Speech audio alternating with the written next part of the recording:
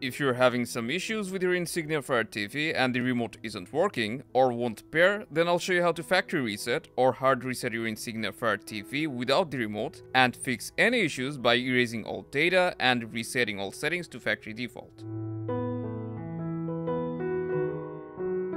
To factory reset our Insignia Smart TV, we'll need to boot in Android Recovery, and for that, unplug your TV from the power outlet.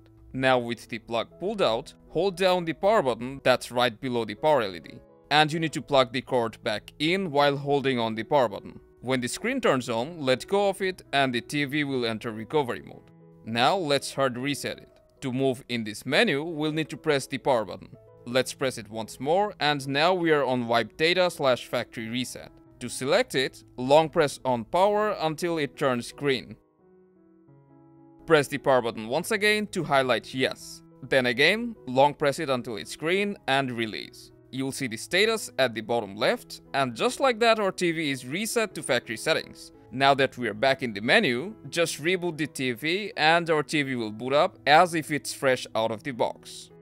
Now, your TV may ask you to repair your remote, and for that point your remote towards your TV and hold the home button for about 15 seconds. Then set up your TV and you're good to go. So that's how you hard reset your Insignia Fire TV without a remote. Let us know how it went and I'll see you later.